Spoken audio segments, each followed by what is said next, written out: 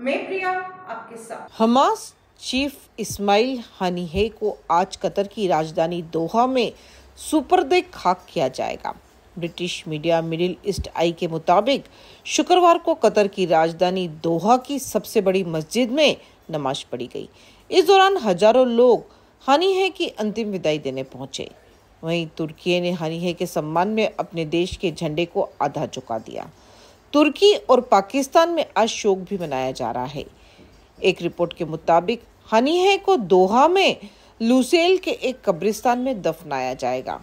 दूसरी तरफ़, middle east में बढ़ते तनाव के बीच, एयर इंडिया ने 8 अगस्त तक दिल्ली से तेल अवीव के लिए सभी उड़ानों को रद्द कर दिया है। हनीहे की मौत के बाद से मिडिल ईस्ट में तनाव बढ़ गया है। इस बीच हिजाबुल्ला चीफ हसन नज़र अल्लाह ने इसराइल से बदला लेने का वादा किया है। उसने कहा कि फ़िलहाल इसराइली बहुत खुश लग रहे हैं, लेकिन आने वाले दिनों में वे खूब रोएँगे।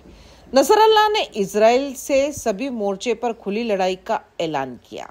उसने कहा कि इसराइल ने रेड लाइन क्रॉस कर ली है। इसराइलियों को पता ही नहीं है कि इन मौतों पर हम कैसा जवाब देंगे। इससे पहले तेहरान में कल यानी गुरुवार को हनिये की अंतिम विदाई दी गई। इसमें हज़ारों लोग शामिल हुए। ईरान के सुप्रीम लीडर आयातुल्ला खामनेई ने अंतिम यात्रा का नेतृत्व किया। इसके बाद हानि है के शव को कतल लाया गया। इसी के साथ बने रहिए एशिया इंडिया के साथ। धन्यवाद।